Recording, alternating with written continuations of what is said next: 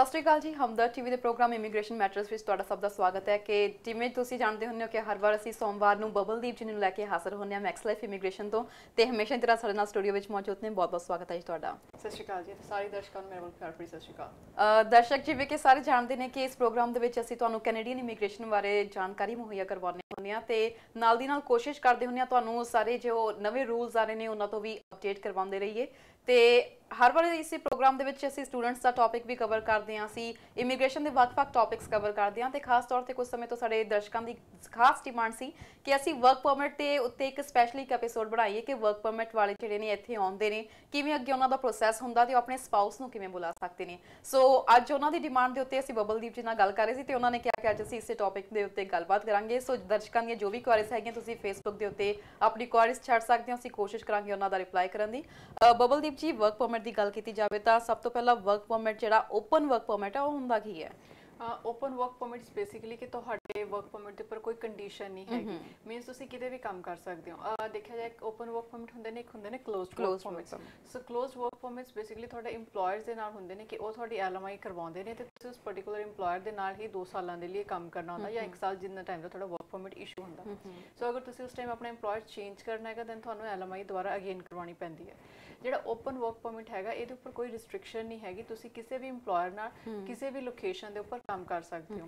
Open work permit ਦੀ ਇੱਕ category ਲਾ ਲਓ ਪੋਸਟ ਗ੍ਰੈਜੂਏਟ ਵਰਕ ਪਰਮਿਟ ਹੋਈ ਹੈਗੀ। ਹੈ। ਤੇ ਸੈਕਿੰਡ ਜਿਹੜੀ ਆਪਾਂ ਅੱਜ ਗੱਲ ਕਰ ਰਹੇ ਹਾਂ spousal open work permit so ਅਗਰ ਜਿੱਦਾਂ ਕਿਸੇ ਦੇ ਕੋਈ ਅਗਰ ਸਟੂਡੈਂਟ ਹੈਗਾ ਇੱਥੇ ਜਾਂ ਕੋਈ ਆਲਰੇਡੀ ਪੀਜੀ ਵਰਕ ਪਰਮਿਟ ਤੇ ਨੇ ਜਾਂ ਨਾਰਮਲੀ ਵਰਕ ਪਰਮਿਟ ਹੋਲਡਰਸ ਹੈਗੇ ਨੇ ਉਹ ਆਪਣੇ ਸਪਾਊਸਸ ਨੂੰ ਇੱਥੇ ਓਪਨ ਵਰਕ ਪਰਮਿਟ ਤੇ ਬੁਲਾ ਸਕਦੇ ਨੇ.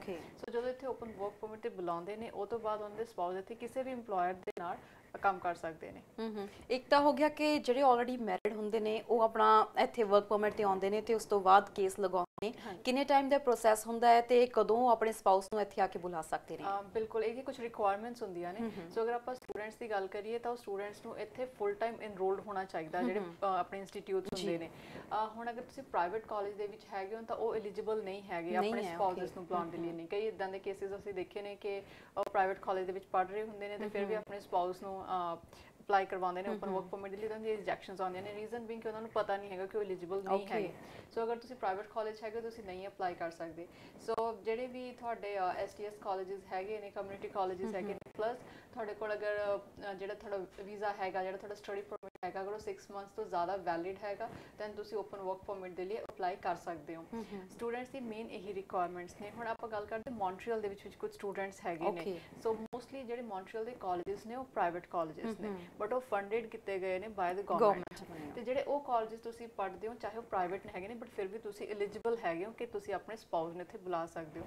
ਬਟ ਅਗਰ ਤੁਸੀਂ ਜ਼ਿਆਦਾ ਐਕੂਰੇਟ ਇਨਫੋਰਮੇਸ਼ਨ ਲੈਣਾ ਚਾਹੁੰਦੇ ਹੋ ਤਾਂ ਅਪਲਾਈ ਕਰਨ ਤੋਂ ਪਹਿਲਾਂ ਤੁਸੀਂ ਸੀਆਈਸੀ ਦੀ ਵੈਬਸਾਈਟ ਦੇ ਉੱਪਰ ਜਾ ਕੇ ਚੈੱਕ ਕਰ ਸਕਦੇ ਹੋ ਡੀਐਲਆਈ ਇੰਸਟੀਚਿਊਟਸ ਪਾ ਕੇ ਕਿ ਜਿਹੜਾ ਤੁਹਾਡਾ ਪਾਰਟਿਕੂਲਰ ਕਾਲਜ ਹੈਗਾ ਤੁਸੀਂ ਉਸ ਦੇ ਅੰਡਰ ਪੀਜੀ ਵਰਕ ਪਰਮਿਟ ਲਈ ਐਲੀਜੀਬਲ ਹੈਗੇ ਕਿ ਨਹੀਂ? ਅਗਰ ਤੁਸੀਂ ਪੀਜੀ ਵਰਕ ਪਰਮਿਟ ਲਈ ਐਲੀਜੀਬਲ ਹੈਗੇ ਹੋ then ਤੁਸੀਂ ਆਪਣੇ ਸਪਾਊਸ ਨੂੰ ਬੁਲਾਉਣ ਦੇ ਲਈ. ਵੀ ਐਲੀਜੀਬਲ ਹੈਗੇ ਹੋ। ਜਿਵੇਂ ਹੁਣ ਬਬਲਦੀਪ ਜੀ ਨਵਾਂ ਸਮੈਸਟਰ ਸ਼ੁਰੂ ਹੋ ਰਿਹਾ। ਕਈ ਵਾਰੀ ਸਟੂਡੈਂਟਸ ਨੂੰ ਨਹੀਂ ਪਤਾ ਹੁੰਦਾ ਤੇ ਉਹ ਕਾਲਜਸ ਵਿੱਚ ਇਹ ਜਿਹਾ ਐਡਮਿਸ਼ਨ ਲੈ ਲੈਂਦੇ ਨੇ ਪ੍ਰਾਈਵੇਟ ਕਾਲਜਸ ਦੇ ਵਿੱਚ। ਕੀ ਇੱਕ ਵਾਰੀ ਉਹ ਐਡਮਿਸ਼ਨ ਲੈ ਕੇ ਇੱਥੇ ਪਹੁੰਚਦੇ ਆ ਕੀ ਉਹ ਆਪਣਾ ਕਾਲਜ ਚੇਂਜ ਕਰ ਸਕਦੇ ਨੇ?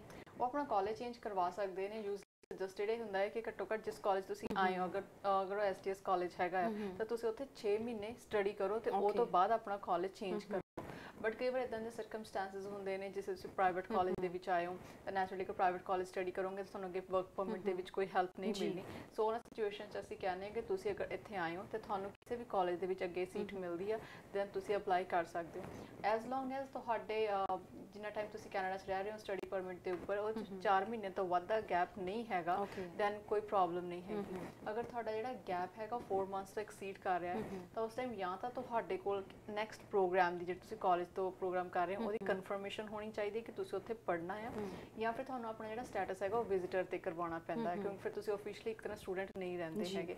ਸੋ ਇਟ ਮੀਨਸ ਤੁਹਾਨੂੰ ਆਪਣੇ ਆਪ ਨੂੰ ਇਨਰੋਲਡ ਰੱਖਣਾ ਪੈਂਦਾ ਹੈ ਤੁਹਾਨੂੰ ਸਟੂਡੈਂਟ ਪਰਮਿਟ ਦੀ ਕੰਡੀਸ਼ਨਸ ਨੂੰ ਸੈਟੀਸਫਾਈ ਕਰਦੇ ਰਹਿਣਾ ਪੈਂਦਾ ਹੈ। ਜਿਵੇਂ ਤੁਸੀਂ ਸਟੂਡੈਂਟਸ ਦੀ ਗੱਲ ਕੀਤੀ ਆ ਜਿਹੜੇ ਸਟੂਡੈਂਟਸ ਹੁਣ ਆਪਣੀ ਸਟੱਡੀ ਕੰਪਲੀਟ ਕਰ ਚੁੱਕੇ ਨੇ ਤੇ ਪੋਸਟ ਗ੍ਰੈਜੂਏਟ ਵਰਕ ਪਰਮਿਟ ਤੇ ਨੇ ਉਹ ਵੀ ਆਪਣੀ ਸਪਾਊਸ ਨੂੰ ਕਰ ਸਕਦੇ ਨੇ ਉਹ? ਡੈਫੀਨਿਟਲੀ ਉਹ ਵੀ ਆਪਣੇ ਸਪਾਊਸਸ ਨੂੰ ਇੱਥੇ ਬੁਲਾ ਸਕਦੇ ਨੇ। ਕਈ ਵਾਰ ਕੀ ਹੁੰਦਾ ਜਦੋਂ ਤੁਹਾਡੀ ਮੈਰਿਜ ਹੋਈ ਹੁੰਦੀ ਆ ਉਸ ਟਾਈਮ ਤੁਹਾਡਾ ਸਟੱਡੀ ਪਰਮਿਟ ਜਿਹੜਾ ਹੁੰਦਾ ਖਤਮ ਹੋਣ ਵਾਲਾ ਹੁੰਦਾ।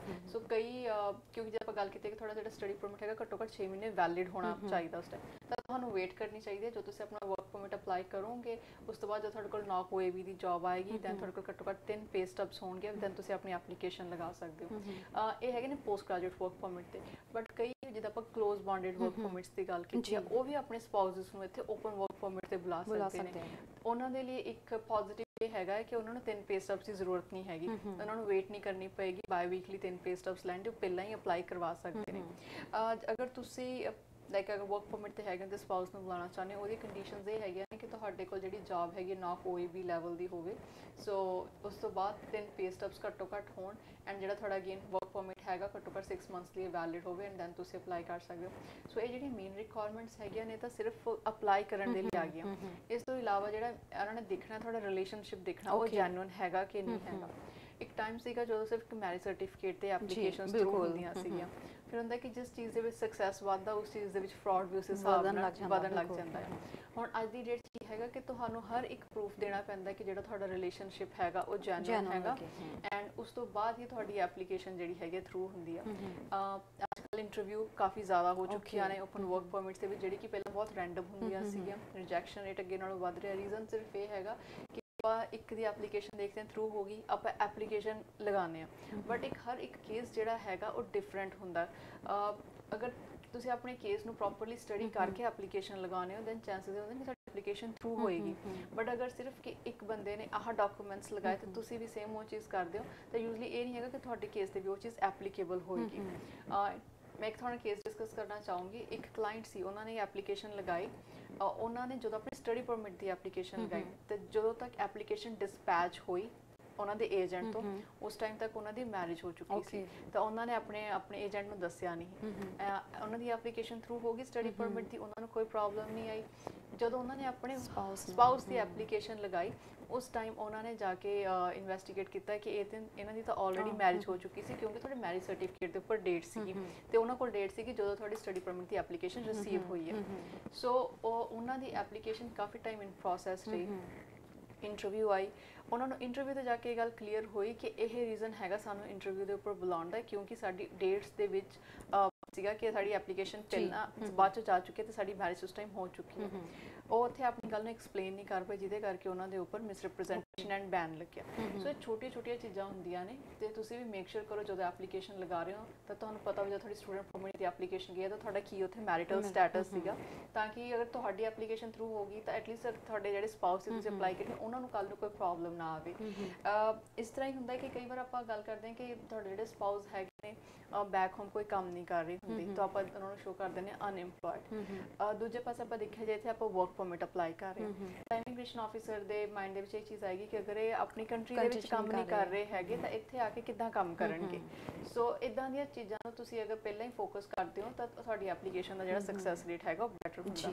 ਹੁਣ ਹੈਗੇ ਫੰਡਸ ਪਹਿਲਾਂ ਫੰਡਸ ਦੀ ਕੋਈ ਖਾਸ ਰਿਕੁਆਇਰਮੈਂਟ ਨਹੀਂ ਸੀ ਹੁੰਦੀ ਹੈ ਐਪਲੀਕੇਸ਼ਨਸ ਦੇ ਵਿੱਚ ਬਟ ਅੱਜ ਦੀ ਡੇਟ ਦੇ ਵਿੱਚ ਉਹਨਾਂ ਨੂੰ ਸੇਮ ਜਿੱਦਾਂ ਆਪਾਂ ਵਿਜ਼ਟਰ ਵੀਜ਼ਾ ਦੀ ਐਪਲੀਕੇਸ਼ਨ 'ਚ ਗੱਲ ਕਰਦੇ ਹਾਂ ਬੈਕ ਡੇਟਡ ਫੰਡਸ ਉਹ ਚਾਹੀਦੇ ਨੇ। ਅਗਰ ਤੁਸੀਂ ਬੈਕ ਡੇਟਡ ਫੰਡਸ ਦਿਖਾਉਂਦੇ ਹੋ ਤਾਂ ਤੁਹਾਡੀ ਐਪਲੀਕੇਸ਼ਨ ਅੱਗੇ ਕੋਈ ਪ੍ਰੋਬਲਮ ਨਹੀਂ ਆਉਂਦੀ। ਸੋ ਕੁਝ ਚੀਜ਼ਾਂ ਹੈਗੀਆਂ ਨੇ ਜਿਹੜੀਆਂ ਅਗਰ ਤਾਂ ਆਪਾਂ spousal open work permit apply ਕਰਦੇ ਹਾਂ ਤੇ ਪਹਿਲਾਂ ਹੀ ਸ਼ੁਰੂ ਤੋਂ ਆਪਾਂ ਉਸ ਹਿਸਾਬ ਨਾਲ ਆਪਣੀ ਐਪਲੀਕੇਸ਼ਨ ਨੂੰ ਪ੍ਰਿਪੇਅਰ ਕਰੀਏ ਤਾਂ ਐਪਲੀਕੇਸ਼ਨ ਡੈਫੀਨਿਟਲੀ ਤੁਹਾਡੀ ਥਰੂ ਹੁੰਦੀ ਆ। ਸੋ ਇਦਾਂ ਨਹੀਂ ਅਗਰ ਇੱਕ ਦੀ ਰਿਜੈਕਟ ਹੋਈ ਜਾਂ ਇੱਕ ਦੀ ਇੰਟਰਵਿਊ ਹੋਈ ਤਾਂ ਤੁਹਾਡੀ ਵੀ ਐਪਲੀਕੇਸ਼ਨ ਦਾ ਉਹੀ ਰਿਜ਼ਲਟ ਹੋਏਗਾ। ਜਿਵੇਂ ਤੁਸੀਂ ਹੁਣ ਇੰਨੀ ਵਧੀਆ ਡਿਟੇਲ ਨਾਲ ਗੱਲ ਕਰ ਰਹੇ ਹੋ ਹੁਣ ਜਿਹੜੇ ਇੱਥੇ ਸਪਾਊਸ ਆਉਂਦੇ ਨੇ ਉਸ ਤੋਂ ਬਾਅਦ ਵਰਕ ਤੇ ਤੁਸੀਂ ਦੱਸਿਆ ਕਿ ਓਪਨ ਵਰਕ ਪਰਮਿਟ ਤੇ ਅਪਲਾਈ ਕਰਕੇ ਇੱਥੇ ਪਹੁੰਚ ਸਕਦੇ ਨੇ। ਤੇ ਉਸ ਤੋਂ ਬਾਅਦ ਜਦੋਂ ਇੱਥੇ ਉਹ ਕੰਮ ਕਰਦੇ ਨੇ ਕੀ ਉਹ ਖੁਦ ਆਪਣੇ ਬੇਸ ਦੇ ਉੱਤੇ ਪੀਆਰ ਪਾ ਸਕਦਾ? ਜਿਵੇਂ ਕਿ ਜਿਵੇਂ ਤੁਸੀਂ ਦੱਸਦੇ ਹੋ ਕਿ ਇੱਥੇ ਪਹੁੰਚਣ ਤੇ ਉਹਨਾਂ ਨੂੰ ਖੁਦ ਕੈਨੇਡੀਅਨ ਐਕਸਪੀਰੀਅੰਸ ਦੇ ਤੇ ਵਰਕ ਪਰਮਿਟ ਦੇ ਉਹਨਾਂ ਨੂੰ ਕੁਝ ਐਕਸਟਰਾ ਪੁਆਇੰਟਸ ਮਿਲਦੇ ਨੇ ਜੌਬ ਲੈਟਰ ਦੇ। ਡੈਫੀਨਿਟਲੀ ਉਹ ਆਪਣੇ ਬੇਸ ਦੇ ਉੱਪਰ ਵੀ ਪਰਮਨੈਂਟ ਰੈਜ਼ੀਡੈਂਸੀ ਦੀ ਐਪਲੀਕੇਸ਼ਨ ਪਾ ਸਕਦੇ ਨੇ ਕਿਉਂਕਿ ਉਹਨਾਂ ਕੋਲ ਕੋਈ ਤਰ੍ਹਾਂ ਦੀ ਆਬਲੀਗੇਸ਼ਨ ਨਹੀਂ ਹੈਗੀ ਕਿ ਅਗਰ ਉਹ ਡਿਪੈਂਡੈਂਟ ਹੈਗੇ ਨੇ ਤਾਂ ਉਹਨਾਂ ਨੂੰ ਵੇਟ ਕਰਨਾ ਪਏਗਾ ਕਿ ਉਹਨਾਂ ਦੇ ਸਪਾਊਸ ਅਪਲਾਈ ਕਰਨ ਤੇ ਅੱਗੇ ਡਿਪੈਂਡੈਂਟ ਹੀ ਆਪਣੀ ਫਾਈਲ ਲਗਾਉਣ। ਸੋ ਅਗਰ ਉਹ ਰਿਕੁਆਇਰਮੈਂਟਸ ਮੀਟ ਕਰਦੇ ਨੇ ਤਾਂ ਉਹ ਵੀ ਨੈਕਸਟ ਐਪਲੀਕੇਸ਼ਨ ਦੇ ਵਿੱਚ ਮੇਨ ਐਪਲੀਕੈਂਟ ਬਣ ਸਕਦੇ ਨੇ ਤੇ ਜਿਹੜੇ ਸਪਾਊਸ ਜਿਨ੍ਹਾਂ ਨੇ ਤੁਹਾਨੂੰ ਬੁਲਾਇਆ ਸੀ ਉਹ ਤੁਹਾਡੇ ਡਿਪੈਂਡੈਂਟ ਵੀ ਬਣ ਸਕਦੇ ਨੇ। ਸੋ ਇਸ ਤਰ੍ਹਾਂ ਦਾ ਕੋਈ ਵੀ ਪ੍ਰੋਬਲਮ ਨਹੀਂ ਹੈਗੀ। ਐਂਡ ਸੈਕਿੰਡ ਆਪ ਇੱਥੇ ਮੈਂ ਵੀ ਇਨਕਲੂਡ ਕਰੂੰ ਕਈ ਵਾਰ ਕੀ ਹੁੰਦਾ ਕਿ ਤੁਹਾਡੇ ਸਪਾਊਸ ਇੱਥੇ ਆਲਰੇਡੀ ਵਿਜ਼ਟਰ ਵੀਜ਼ਾ ਤੇ ਆ ਜਾਂਦੇ ਨੇ। ਤਾਂ ਅਗਰ ਉਹ ਵਿਜ਼ਟਰ ਵੀਜ਼ਾ ਤੇ ਆ ਚੁੱਕੇ ਨੇ ਤਾਂ ਫਿਰ ਵੀ ਜਿਹੜੀ ਇਹ ਰਿਕੁਆਇਰਮੈਂਟਸ ਹੈਗੀਆਂ ਨੇ ਤੁਹਾਨੂੰ ਫੁੱਲਫਿਲ ਕਰਨੀਆਂ ਹੀ ਪੈਂਦੀਆਂ ਨੇ। ਤਾਂ ਹੀ ਤੁਸੀਂ ਅੱਗੇ ਜਿਹੜੀ ਉਹਨਾਂ ਦੀ ਐਪਲੀਕੇਸ਼ਨ ਹੈਗੀ ਲਗਾ ਸਕਦੇ ਹੋ। ਤੇ ਅਗਰ ਤੁਸੀਂ ਸੋਚ ਰਹੇ ਹੋ ਕਿ ਤੁਸੀਂ ਲਾਈਕ ਬਾਰਡਰ ਤੇ ਜਾ ਕੇ ਲੈ ਕੇ ਆਉਣੇ ਹੋ ਵੀਜ਼ਾ ਆਈ ਸੁਜੈਸਟ ਕਿ ਅਗਰ ਤੁਸੀਂ ਜਾਣਾ ਵੀ ਚਾਹੁੰਦੇ ਹੋ ਦੈਨ ਮੇਕ ਸ਼ੋਰ ਕਿ ਤੁਹਾਡੀ ਡਾਕੂਮੈਂਟੇਸ਼ਨ ਪ੍ਰੋਪਰ ਤਾਂ ਕਿ ਤੁਹਾਡੇ ਸਪਾਊਸ ਨੂੰ ਉੱਥੇ ਜਾ ਕੇ ਕੋਈ ਪ੍ਰੋਬਲਮ ਨਾ ਆਵੇ। ਬਿਲਕੁਲ ਤੇ ਆਇਲਸ ਦੀ ਰਿਕੁਆਇਰਮੈਂਟ ਕੀ ਜ਼ਰੂਰੀ ਹੁੰਦੀ ਹੈ ਇਸ ਵਿੱਚ? ਜਦੋਂ ਅਸੀਂ ਸਪਾਊਸ ਵੀਜ਼ਾ ਦੇ ਲਈ ਅਪਲਾਈ ਕਰਦੇ ਆ ਤਾਂ? ਨਹੀਂ ਇਹ ਕਿਸ ਤਰ੍ਹਾਂ ਦੀ ਕੈਟਾਗਰੀ ਹੈਗੀ ਹੈ? ਵਿਜ਼ਟਰ ਵੀਜ਼ਾ ਨੂੰ ਛੱਡ ਕੇ ਜਿਹਦੇ ਵਿੱਚ ਆਇਲਸ ਦੀ ਰਿਕੁਆਇਰਮੈਂਟ ਨਹੀਂ ਹੈਗੀ। ਬਟ ਅਗਰ ਆਇਲਸ ਦੀ ਰਿਕੁਆਇਰਮੈਂਟ ਨਹੀਂ ਹੈਗੀ ਤਾਂ ਜਿਹੜੇ ਬਾਕੀ ਜਿਹੜੇ ਡਾਕੂਮੈਂਟੇਸ਼ਨ ਪਾਰਟ ਹੈਗੀ ਉਹ ਕਾਫੀ ਥੋੜੀ ਸਟਰੋਂਗ ਇਨਫ ਹੋਣੀ ਚਾਹੀਦੀ ਆ। ਯੂਜ਼ਲੀ ਅਗਰ ਕੰਪੇਅਰ ਕੀਤਾ ਜਾਵੇ ਜਿਹੜੀ ਸਪਾਊਸਲ ਸਪਾਂਸਰਸ਼ਿਪ ਐਪਲੀਕੇਸ਼ਨਸ ਹੈਗੀਆਂ ਨੇ ਉਹਦੇ ਕੰਪੈਰੀਟਿਵਲੀ ਹੀ ਤੁਹਾਡੀ ਐਪਲੀਕੇਸ਼ਨ ਜਿਹੜੀ ਇਹ ਹੈਗੀ ਉਸ ਤਰ੍ਹਾਂ ਜਾਂਦੀ ਹੈ ਸੋ ਫਰਮ ਮੈਰਿਜ ਸਰਟੀਫਿਕੇਟ ਤੋਂ ਲੈ ਕੇ ਤੁਹਾਡੀ ਮੈਰਿਜ ਕਿੱਥੇ ਹੋਈ ਕਿ ਤੁਸੀਂ ਸੋਸ਼ਲੀ ਆਪਣੀ ਮੈਰਿਜ ਨੂੰ ਡਿਕਲੇਅਰ ਕੀਤਾ ਹੋਇਆ ਹੈਗਾ ਤੁਹਾਡੇ ਸਪਾਊਸ ਤੁਹਾਡੇ ਇੱਥੇ ਫੀਸ ਨੂੰ ਸਪੋਰਟ ਕਰਦੇ ਨੇ ਕਿ ਨਹੀਂ ਕਰਦੇ ਫਾਈਨੈਂਸ਼ਲੀ ਸਪੋਰਟ ਕਰਦੇ ਨੇ ਕਿ ਨਹੀਂ ਤੁਹਾਡੇ ਪੇਰੈਂਟਸ ਨੂੰ ਤੁਹਾਡੀ ਵੈਡਿੰਗ ਦਾ ਪਤਾ ਹੈਗਾ ਕਿ ਨਹੀਂ। ਸੋ ਇਹ ਸਾਰੀਆਂ ਚੀਜ਼ਾਂ ਜਿਹੜੀਆਂ ਹੈਗੀਆਂ ਨੇ ਉੱਥੇ ਜਾਂਦੀਆਂ ਨੇ ਇਮੀਗ੍ਰੇਸ਼ਨ ਦੇ ਵਿੱਚ ਉਹਨਾਂ ਨੂੰ ਜਦੋਂ ਪ੍ਰੋਪਰ ਸੈਟੀਸਫਾਈਡ ਹੁੰਦੇ ਨੇ ਤਾਂ ਹੀ ਹੁਣ ਤੁਹਾਡੀ ਅੱਜ ਦੀ ਵਿੱਚ ਐਪਲੀਕੇਸ਼ਨ ਥਰੂ ਹੁੰਦੀ ਆ। ਇੰਟਰਵਿਊ ਵੀ ਆਉਂਦੀਆਂ ਹੈਗੀਆਂ ਨੇ ਇੰਟਰਵਿਊ ਦੇ ਵਿੱਚ ਵੀ ਉਹਨਾਂ ਨੇ ਮੇਨ ਇਹੀ ਚੀਜ਼ਾਂ ਦੇ ਉੱਪਰ ਫੋਕਸ ਹੁੰਦਾ ਹੈ ਕਿ ਜਿਹੜਾ ਤੁਹਾਡਾ ਰਿਲੇਸ਼ਨਸ਼ਿਪ ਹੈਗਾ ਜੈਨੂਇਨ ਹੈ ਕਿ ਨਹੀਂ। ਹੁਣ ਇਹਦੇ ਵਿੱਚ ਕੀ ਹੁੰਦਾ ਕਿ ਮੋਸਟਲੀ ਇਹ ਟ੍ਰੈਂਡ ਅਸੀਂ ਦੇਖਿਆ ਹੈ ਕਿ ਜਦੋਂ ਵੀਜ਼ਾ ਉਸ ਟਾਈਮ ਵਿਆਹ ਹੁੰਦਾ ਤੇ ਕੁੜੀ ਥੋੜੇ ਦਿਨਾਂ ਬਾਅਦ 10-15 ਦਿਨਾਂ ਬਾਅਦ ਕੈਨੇਡਾ ਚ ਆ ਜਾਂਦੇ ਆ। ਐਂਡ ਫਿਰ ਆਪਣਾ ਐਪਲੀਕੇਸ਼ਨ ਲਗਾਉਂਦੇ ਆ। ਆਮ ਨਾਟ ਸੇਇੰਗ ਕਿ ਉਹ ਐਪਲੀਕੇਸ਼ਨਸ ਜੈਨੂਇਨ ਨਹੀਂ ਹੁੰਦੀਆਂ ਜਾਂ ਰਿਲੇਸ਼ਨਸ਼ਿਪਸ ਉਹ ਜੈਨੂਇਨ ਨਹੀਂ ਹੁੰਦੇ ਡੈਫੀਨਿਟਲੀ ਜੈਨੂਇਨ ਹੁੰਦੇ ਨੇ। ਬਟ ਉਹਨਾਂ ਨੂੰ ਤੁਹਾਨੂੰ ਪ੍ਰੂਵ ਵੀ ਉਸ ਹਿਸਾਬ ਨਾਲ ਕਰਨਾ ਪੈਂਦਾ ਆ। ਕਿਉਂਕਿ ਦੇਖੋ ਜਿਹੜੀ ਐਪਲੀਕੇਸ਼ਨ ਚ ਸਕਸੈਸ ਵੱਧਦਾ ਫਰਾਡ ਵੀ ਉਹਨਾਂ ਐਪਲੀਕੇਸ਼ਨਸ ਚ ਵੱਧਦਾ ਹੈ। ਸੋ ਤੁਹਾਨੂੰ ਅਗਰ ਪਤਾ ਤੁਹਾਡੀ ਐਪਲੀਕੇਸ਼ਨ ਜੈਨੂਇਨ ਹੈਗੀ ਆ ਤਾਂ ਤੁਸੀਂ ਪਹਿਲਾਂ ਤੋਂ ਹੀ ਉਸ ਹਿਸਾਬ ਨਾਲ ਆਪਣੇ ਐਫਰਟਸ ਕਰੋ ਤਾਂ ਕਿ ਜਿਹੜੀ ਤੁਹਾਡੀ ਐਪਲੀਕੇਸ਼ਨ ਰੋਂਗ ਪੁਆਇੰਟਸ ਨੇ ਉਹ ਸਾਹਮਣੇ ਆਉਣ ਠੀਕ ਹੈ? ਹੁਣ ਅਗਰ ਤੁਸੀਂ 15 ਦਿਨ ਵੀ ਆਪਣੇ ਸਪਾਊਸ ਦੇ ਨਾਲ ਸਪੈਂਡ ਕੀਤੇ ਨੇ ਤਾਂ ਇਟ ਮੀਨਸ ਕਿ ਤੁਸੀਂ 15 ਦਿਨ ਉਹਨਾਂ ਦੀ ਫੈਮਿਲੀ ਉਹਨਾਂ ਦੇ ਰਿਲੇਟਿਵਸ ਦੇ ਨਾਲ ਟਾਈਮ ਸਪੈਂਡ ਕੀਤਾ ਆ। ਕਈ ਵਾਰ ਕੀ ਹੁੰਦਾ ਕਿ ਤੁਹਾਡੇ ਕੋਲ ਸਿਰਫ ਮੈਰਿਜ ਦੀਆਂ ਫੋਟੋਗ੍ਰਾਫਸ ਹੁੰਦੀਆਂ ਨੇ ਉਹ ਤੋਂ ਬਾਅਦ ਦੀਆਂ ਪਿਕਚਰਸ ਨਹੀਂ ਹੁੰਦੀਆਂ। ਸੋ ਇਟ ਮੀਨਸ ਕਿ ਤੁਸੀਂ ਉਹ ਫੈਮਿਲੀ ਦੇ ਨਾਲ ਟਾਈਮ ਨਹੀਂ ਸਪੈਂਡ ਕੀਤਾ ਹੈਗਾ। ਸੋ ਅਗਰ ਤੁਸੀਂ ਸ਼ੋ ਕਰੋਗੇ ਕਿ ਹਾਂ ਬਾਅਦ ਚ ਤੁਸੀਂ ਆਪਣੀ ਫੈਮਿਲੀ ਨਾਲ ਟਾਈਮ ਸਪੈਂਡ ਕੀਤਾ ਪਲੱਸ ਉਹ 15 ਦਿਨਾਂ ਦੇ ਵਿੱਚ ਤੁਸੀਂ ਕਿਤੇ ਵਿਜ਼ਿਟ ਕੀਤਾ ਹੈਗਾ। ਐਂਡ ਤੁਸੀਂ ਕੋਈ ਜੁਆਇੰਟ ਬੈਂਕ ਅਕਾਊਂਟ ਤੁਹਾਡੇ ਹੈਗੇ ਨੇ ਤੁਸੀਂ ਸੋਸ਼ਲੀ ਅਪਡੇਟ ਕਰਨਾ। ਅੱਜਕੱਲ ਆਪਾਂ ਛੋਟੀ ਛੋਟੀ ਚੀਜ਼ਾਂ ਨੂੰ ਸੋਸ਼ਲੀ ਅਪਡੇਟ ਕਰਦੇ ਹਾਂ ਰਾਈਟ ਤਾਂ। ਮੈਰਿਜ ਨੂੰ ਤੁਸੀਂ ਕਿਦਾਂ ਨਹੀਂ ਅਪਡੇਟ ਕਰੋਗੇ? ਤਾਂ ਤੁਸੀਂ ਸੋਸ਼ਲੀ ਅਪਡੇਟ ਕੀਤਾ ਹੈਗਾ ਤੇ ਉਹ ਚੀਜ਼ਾਂ ਨੂੰ ਤੁਹਾਡੀ ਐਪਲੀਕੇਸ਼ਨ ਚ ਅੱਗੇ ਪੋਜ਼ਿਟਿਵਲੀ ਰਿਫਲੈਕਟ ਹੀ ਕਰਨਗੀਆਂ। ਜਿਵੇਂ ਤੁਸੀਂ ਦੱਸ ਰਹੇ ਹੋ ਕਿ ਇਹ ਸਾਰੇ ਪ੍ਰੋਸੈਸ ਦੀ ਗੱਲ ਕੀਤੀ ਜਾਵੇ ਤਾਂ ਕਿੰਨਾ ਕੁ ਟਾਈਮ ਲੱਗਦਾ ਹੈ ਜਦੋਂ ਤੁਸੀਂ ਸਪਾਊਸ ਦੇ ਲਈ ਅਪਲਾਈ ਕਰਦੇ ਹੋ ਤਾਂ ਕਿੰਨੇ ਟਾਈਮ ਦੇ ਵਿੱਚ ਵਿੱਚ ਤੁਸੀਂ ਉਹਨਾਂ ਨੂੰ ਬੁਲਾ ਸਕਦੇ ਹੋ? ਪ੍ਰੋਸੈਸਿੰਗ ਜਿਹੜਾ ਹੈਗਾ ਵੇਰੀ ਕਰਦਾ ਐਪਲੀਕੇਸ਼ਨ ਟੂ ਐਪਲੀਕੇਸ਼ਨ ਬਟ ਆਪਾਂ ਐਕਸਪੈਕਟ ਕਰ ਸਕਦੇ ਹਾਂ 2 ਟੂ 3 ਮੰਥਸ ਦਾ। ਅਗਰ ਉਹ ਕੇਸ ਸਿੰਪਲ ਹੈਗਾ ਅਗਰ ਉਹਨਾਂ ਦੀ ਇੰਟਰਵਿਊ ਆਈ ਹੈ ਦੈਨ ਡਿਪੈਂਡ ਕਰਦਾ ਤੁਹਾਨੂੰ ਇੰਟਰਵਿਊ ਡੇਟ ਕਦੋਂ ਦੀ ਮਿਲਦੀ ਹੈ। ਅੱਜ ਕੱਲ ਜਿਹੜੀ ਇੰਟਰਵਿਊ ਡੇਟਸ ਹੈਗੀਆਂ ਨੇ ਯੂਜ਼ਲੀ ਜਦੋਂ ਤੁਹਾਨੂੰ ਲੈਟਰ ਆਉਂਦੀ ਹੈ ਉਹ ਤੋਂ ਮਹੀਨਾ ਡੇਢ ਮਹੀਨੇ ਬਾਅਦ ਦੀ ਮਿਲਦੀ ਹੈ ਸੋ ਉਹਦੇ ਵਿੱਚ ਥੋੜਾ ਕਾਫੀ ਟਾਈਮ ਜਿਹੜਾ ਹੈਗਾ ਅੱਗੇ ਵੇਸਟ ਹੋ ਜਾਂਦਾ ਵਿਲ ਸੇ ਇੰਟਰਵਿਊਜ਼ ਤੇ ਕਿੰਨੇ ਪਰਸੈਂਟ ਚਾਂਸਸ ਹੁੰਦੇ ਨੇ ਕਿ ਜਾਂ ਫਿਰ ਵੀਜ਼ਾ ਆਫੀਸਰ ਤੇ ਡਿਪੈਂਡ ਕਰਦਾ ਹੈ ਕਿ ਕਿਸੇ ਕੇਸ ਤੇ ਉਹਨੂੰ ਲੱਗਦਾ ਡਾਊਟ ਹੈ ਕਿ ਉਹਦੀ ਹੀ ਸਿਰਫ ਇੰਟਰਵਿਊ ਹੈਗੀ ਜਾਂ ਫਿਰ ਅੱਜ ਕੱਲ ਸਭ ਦੀ ਇੰਟਰਵਿਊ ਦੇ ਚਾਂਸਸ ਬਣਦੇ ਸਭ ਨੇ ਦੀ ਤਾਂ ਨਹੀਂ ਬਟ ਮੋਸਟਲੀ ਕੇਸਿਸ ਦੀ ਅੱਜ ਕੱਲ. ਇੰਟਰਵਿਊ ਆ ਰਹੀ ਹੈ। ਸੋ ਜਿਹੜੇ ਕੇਸਿਸ ਇੱਕ ਕੇਸਿਸ ਹੁੰਦੇ ਨੇ ਜਦੋਂ ਆਪਾਂ ਓਪਨ ਕਰਦੇ ਆਪਾਂ ਨੂੰ ਉਸ ਟਾਈਮ ਪਤਾ ਲੱਗ ਜਾਂਦਾ ਰਿਲੇਸ਼ਨਸ਼ਿਪ ਬਿਲਕੁਲ ਜੈਨੂਇਨ ਹੈਗਾ। ਤੁਹਾਡੇ ਵਿਆਹ ਨੂੰ ਟਾਈਮ ਹੋ ਚੁੱਕਿਆ ਤੁਹਾਡੇ ਅੱਗੇ ਬੇਬੀ ਹੈਗਾ ਰਾਈਟ ਜਾਂ ਤੁਹਾਡੀ ਡਾਕੂਮੈਂਟਸ ਇਸ ਹਿਸਾਬ ਦੇ ਹੈਗੇ ਨੇ ਕਿ ਜਿੱਥੋਂ ਸ਼ੋ ਹੁੰਦਾ ਕਿ ਮੈਰਿਜ ਜਿਹੜੀ ਹੈਗੀ ਹੈ। ਡੈਫੀਨਿਟਲੀ ਉਹ ਕੇਸਿਸ ਇੰਟਰਵਿਊ ਨਹੀਂ ਆਉਂਦੀ ਹੁਣ ਜਿਹੜੇ ਕੇਸ ਆਪਾਂ ਗੱਲ ਕਰੇ 15 ਦਿਨ ਤੁਸੀਂ ਉੱਥੇ ਰਹੇ ਹੋ ਦੁਬਾਰਾ ਤੁਸੀਂ ਵਿਜ਼ਿਟ ਨਹੀਂ ਕੀਤਾ ਆਪਣੇ ਸਪਾਊਸ ਨੂੰ। ਸੋ ਉਹ ਕੇਸਿਸ ਦੇ ਵਿੱਚ ਹੁੰਦਾ ਹੈ ਕਿ ਇੰਟਰਵਿਊ ਦੇ ਚਾਂਸਸ ਅੱਜ ਦੀ ਡੇਟ ਦੇ ਵਿੱਚ ਹੈਗੇ ਨੇ। ਸੋ ਇਟਸ ਓਕੇ ਅਗਰ ਤੁਹਾਡੀ ਇੰਟਰਵਿਊ ਵੀ ਆਉਂਦੀ ਹੈ ਉਹ 'ਚ ਕੋਈ ਜ਼ਿਆਦਾ ਡਰਨ ਦੀ ਲੋੜ ਨਹੀਂ ਹੈਗੀ। ਸੋ ਮੇਨਲੀ ਇੰਟਰਵਿਊ ਦੇ ਉੱਪਰ ਵੀ ਉਹਨਾਂ ਨੇ ਇਹੀ ਚੈੱਕ ਕਰਨਾ ਕਿ ਤੁਹਾਡਾ ਸਪਾਊਸ ਦੇ ਨਾਲ ਰਿਲੇਸ਼ਨਸ਼ਿਪ ਕਿਸ ਤਰ੍ਹਾਂ ਦਾ ਹੈਗਾ। ਤੁਹਾਨੂੰ ਆਪਣੇ ਸਪਾਊਸ ਦੇ ਬਾਰੇ ਸਾਰਾ ਕੁਝ ਪਤਾ ਹੋਣਾ ਚਾਹੀਦਾ ਕਿੱਥੇ ਕਾਲਜ ਜਾਂਦੇ ਨੇ ਉਹਨਾਂ ਦੀ ਜਿਹੜੀ ਹੈਗੇ ਗ੍ਰੇਡਸ ਕਿਸ ਤਰ੍ਹਾਂ ਦੇ ਆ ਰਹੇ ਹੈਗੇ ਨੇ ਉਹਨਾਂ ਦੇ ਕਾਲਜ ਦੇ ਆਵਰਸ ਕੀ ਨੇ। ਉਹ ਬਾਅਦ ਚੋਂ ਕਿੱਥੇ ਕੰਮ ਕਰ ਰਹੇ ਹੈਗੇ ਨੇ ਜਾਂ ਉਹਨਾਂ ਨੇ ਕੈਨੇਡਾ 'ਚ ਕਿਤੇ। ਵਿਜ਼ਿਟ ਕੀਤਾ ਸੋ ਨਾਰਮਲੀ ਇਦਾਂ ਦੇ questions ਨਾਰਮਲੀ ਜਿਵੇਂ ਦੇ ਅਸੀਂ ਕਹਿ ਸਕਦੇ ਹਾਂ ਕਿ ਨਾਰਮਲ ਕੁਐਸਚਨ ਜੀ ਦੀ ਜਾਣਕਾਰੀ ਹੋ ਸਕਦੀ ਹੈ ਸਭ। ਨੂੰ ਜਿਹੜੇ ਜੈਨੂਅਲ ਰਿਲੇਸ਼ਨਸ਼ਿਪ ਚ ਆ ਤੇ ਉਵੇਂ ਦੇ ਕੁਐਸਚਨਸ ਪੁੱਟ ਕੀਤੇ ਸੋ ਜਾਂਦੇ ਨੇ। ਨਾਰਮਲ ਕੁਐਸਚਨਸ ਉਹਨਾਂ ਦੇ ਸਪਾਊਸ ਦੇ ਬਾਰੇ ਪੁੱਛੇ ਜਾਂਦੇ ਨੇ। ਸੋ ਅਗਰ ਉਹ ਕੁਐਸਚਨਸ ਨੂੰ ਕੌਨਫੀਡੈਂਟਲੀ ਆਨਸਰ ਕਰ ਦਿੰਦੇ ਨੇ ਦੈਨ ਉਹਨਾਂ ਦੀ ਐਪਲੀਕੇਸ਼ਨ ਡੈਫੀਨਿਟਲੀ ਉੱਥੇ ਅਪਰੂਵ ਹੁੰਦੀ ਹੈਗੀ ਆ। ਸੋ ਇਦਾਂ ਨਹੀਂ ਹੈਗਾ ਕਿ ਅਗਰ ਇੰਟਰਵਿਊ ਆ ਗਈ ਦੈਨ ਕਿਉਂਕਿ ਇਹ ਚੀਜ਼ ਅਸੀਂ ਦੇਖਿਆ ਕਿ ਅਗਰ ਇੰਟਰਵਿਊ ਆ ਗਈ ਮੋਸਟਲੀ ਕਲਾਇੰਟ ਇਹ ਸੋਚ ਲੈਂਦੇ ਨੇ ਕਿ ਸਾਡੀ ਇਦਾਂ ਨਾ ਹੋਵੇ ਕਿ ਰਿਜੈਕਸ਼ਨ ਆਵੇ।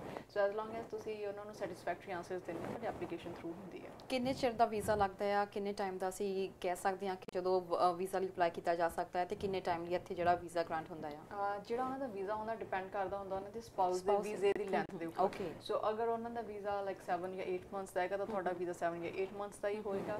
ਤੇ ਅਗਰ ਤੁਹਾਡਾ ਵੀਜ਼ਾ ਲਾਈਕ ਉਹਨਾਂ ਦਾ 2 ਸਾਲ ਦਾ ਰਹਿੰਦਾ ਤਾਂ ਟਾਈਮ ਦਾ ਹੋਏਗਾ।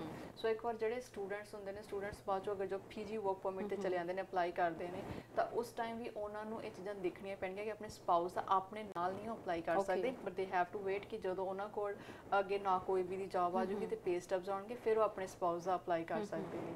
ਜਾਂ ਫਿਰ ਵਿਦ ਜੌਬ ਲੈਟਰਸ ਅਪਲਾਈ ਕਰ ਸਕਦੇ ਨੇ ਬਟ ਜਿਹੜੇ ਡਾਕੂਮੈਂਟਸ ਹੈਗੇ ਨੇ ਬਾਅਦ ਚ ਉਹਨੂੰ- ਨੂੰ ਇਮੀਗ੍ਰੇਸ਼ਨ ਨੂੰ ਪ੍ਰੋਵਾਈਡ ਕਰਨੇ ਪੈਣਗੇ। ਇਹ ਮੈਂ ਇਸ ਲਈ ਇਨਕਲੂਡ ਕਰ ਰਹੀ ਹਾਂ ਕਿਉਂਕਿ ਜਿਹੜੇ ਕਿਉਂਕਿ ਦੋਨਾਂ ਦੇ ਵੀਜ਼ੇ ਦੀ ਡਿਊਰੇਸ਼ਨ ਸੇਮ ਹੁੰਦੀ ਆ। ਯੂਜ਼ਲੀ ਕਾਲ ਤੇ ਟ੍ਰਾਂਸਕ੍ਰਿਪਟਸ ਲੇਟ ਹੋ ਜਾਂਦੀਆਂ ਨੇ ਮਿਲਣ ਨੂੰ। ਤੁਸੀਂ ਤਾਂ ਆਪਣਾ ਪੀਜੀ ਵਰਕ ਪਰਮਿਟ ਅਪਲਾਈ ਕਰਦੇ ਨੇ ਬਟ ਜਿਹੜੇ ਤੁਹਾਡੇ ਸਪਾਊਸ ਨੇ ਜਾਂ ਤਾਂ ਉਹ ਆਊਟ ਆਫ ਸਟੇਟਸ ਹੋ ਸਕਦੇ ਨੇ ਜਾਂ ਤੁਹਾਨੂੰ ਉਹਨਾਂ ਦਾ ਫਿਰ ਸਟੇਟਸ ਚੇਂਜ ਕਰਵਾਉਣਾ ਪੈਂਦਾ ਆ। ਸੋ ਉਹ ਚੀਜ਼ ਨੂੰ ਉਹਨਾਂ ਨੂੰ ਧਿਆਨ ਰੱਖਣਾ ਪੈਂਦਾ ਕਿ ਹੁਣ ਉਹ ਨੈਕਸਟ ਜਿਹੜਾ ਹੈਗਾ ਕਿਹੜਾ ਸਟੈਪ ਆਪਣਾ ਉਠਾਓ ਇੱਕ ਤੁਸੀਂ ਦੱਸਿਆ ਫੰਡਸ ਦੇ ਵਿੱਚ ਕਿ ਸਪਾਊਸ ਨੂੰ ਥੋੜੇ ਜਿਹੇ ਫੰਡਸ ਜਿਹੜੇ ਆ ਉਹ ਦਿਖਾਉਣੇ ਪੈਂਦੇ ਨੇ ਜਿਹੜੇ ਬੈਕ ਹੋਮ ਜਿਨ੍ਹਾਂ ਦੇ ਲਈ ਅਪਲਾਈ ਕੀਤਾ ਜਾ ਰਿਹਾ। ਜਿਹੜੇ ਅਪਲਾਈ ਕਰ ਰਹੇ ਨੇ ਕਿ ਉਹਨਾਂ ਨੂੰ ਵੀ ਕੁਝ ਸ਼ੋਅ ਕਰਨਾ ਪੈਂਦਾ ਆਪਣੇ ਬੈਂਕ। ਬੈਲੈਂਸ ਦੇ ਵਿੱਚ ਕੁਝ ਡੈਫੀਨਿਟਲੀ ਅਸੀਂ ਕਮੈਂਟ ਕਰਦੇ ਹਾਂ ਕਿ ਉਹ ਵੀ ਸ਼ੋਅ ਕਰਨ।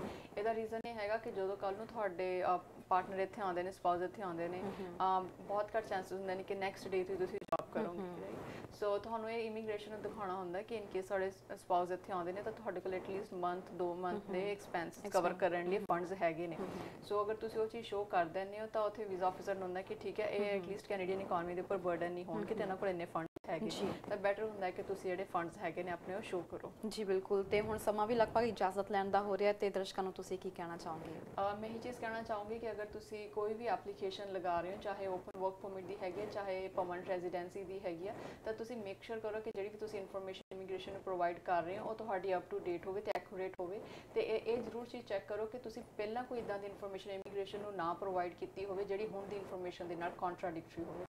ਸੋ ਤੁਸੀਂ ਅਗਰ ਜ਼ਿਆਦਾ ਇਨਫੋਰਮੇਸ਼ਨ ਚਾਹੁੰਦੇ ਤਾਂ ਤੁਸੀਂ ਮੈਨੂੰ ਕੰਟੈਕਟ ਵੀ ਕਰ ਸਕਦੇ ਹੈਗੇ ਬਿਲਕੁਲ, ਬਹੁਤ ਬਹੁਤ ਤੁਹਾਡਾ ਧੰਨਵਾਦ ਸਾਡੇ ਸਟੂਡੀਓ ਵਿੱਚ ਆਉਣ ਲਈ ਤੇ ਅੱਜ ਓਪਨ ਵਰਕ ਪਰਮਿਟ ਦੇ ਬਾਰੇ ਵਿੱਚ ਇੰਨੀ ਜਾਣਕਾਰੀ ਦੇਣ ਲਈ। ਤੇ ਜਾਣ ਤੋਂ ਪਹਿਲਾਂ ਮੈਂ ਆਪਣੇ ਦਰਸ਼ਕਾਂ ਨੂੰ ਇਹ ਜ਼ਰੂਰ ਕਹਿਣਾ ਚਾਹਾਂਗੀ ਕਿ ਸੋਸ਼ਲ ਮੀਡੀਆ ਦੇ ਉੱਤੇ ਤੇ ਆਮ ਤੌਰ ਤੇ ਟੀਵੀਜ਼ ਚੈਨਲਸ ਦੇ ਉੱਤੇ ਕਾਫੀ ਜ਼ਿਆਦਾ ਵੀਡੀਓਜ਼ ਜਿਹੜੀਆਂ ਨੇ ਉਹ ਸਾਹਮਣੇ ਆ ਰਹੀਆਂ ਨੇ।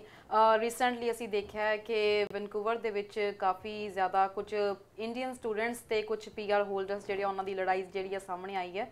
ਸੋ ਖਾਸ ਤੌਰ ਤੇ ਸਭ ਲਈ ਇਹੀ ਹੈ ਕਿ ਜੇਕਰ ਤੁਸੀਂ ਇੱਥੇ ਆਉਂਦੇ ਹੋ ਤੇ ਕਾਨੂੰਨ ਨੂੰ ਆਪਣੇ ਹੱਥ ਵਿੱਚ ਨਾ ਲਵੋ ਮਾਹੌਲ ਨੂੰ ਖਰਾਬ ਕਰਨ ਦੀ ਕੋਸ਼ਿਸ਼ ਨਾ ਕਰੋ, ਕਿਉਂਕਿ ਇਸ ਦੇ ਨਾਲ ਨਾ ਸਿਰਫ ਤੁਹਾਡੇ ਸੁਪਨੇ ਜਿਹੜੇ ਆ ਉਹ ਖਤਮ ਹੋ ਸਕਦੇ ਆ ਬਲਕਿ ਜਿਹੜੇ ਇੱਥੇ ਅਪਲਾਈ ਕਰਨਾ ਚਾਹੁੰਦੇ ਨੇ ਰੂਲਸ ਇੰਨੇ ਜ਼ਿਆਦਾ ਸਖਤ ਤੋਂ ਸਖਤ ਹੋ ਰਹੇ ਨੇ ਕਿ ਜਿਹੜੇ ਇੱਥੇ ਜੈਨੂਅਨ ਵੀ ਆਉਣਾ ਚਾਹੁੰਦੇ ਨੇ, ਉਹਨਾਂ ਲਈ ਵੀ ਕਾਫੀ ਜ਼ਿਆਦਾ ਹਾਰਡ ਹੁੰਦਾ ਜਾ ਰਿਹਾ ਸੋ ਹਮੇਸ਼ਾ ਲਾਅ ਜਿਹੜੇ ਵੀ ਤੁਸੀਂ ਕੰਟਰੀ ਵਿੱਚ ਜਾਂਦੇ ਹੋ, ਉੱਥੋਂ ਦੇ ਕਾਨੂੰਨ ਦੀ ਪਾਲਣਾ ਕਰੋ ਤੇ ਇੱਕ ਵਧੀਆ ਨਾਗਰਿਕ ਬਣ ਕੇ ਦਿਖਾਓ। ਤੁਹਾਡਾ ਬਹੁਤ ਬਹੁਤ ਧੰਨਵਾਦ ਸਟੂਡੀਓ ਵਿੱਚ ਆਉਣ ਲਈ ਤੇ ਮੇਰੇ ਦਰਸ਼ਕਾਂ ਦਾ ਵੀ ਬਹੁਤ ਬਹੁਤ ਧੰਨਵਾਦ ਪ੍ਰੋਗਰਾਮ ਦੇਖਣ ਦੇ ਲਈ। ਥੈਂਕ ਯੂ ਸੋ ਮਚ ਦੇਖਦੇ ਰਹੋ ਹਮਦਰ ਟੀਵੀ ਸਤਿ ਸ਼੍ਰੀ ਅਕਾਲ।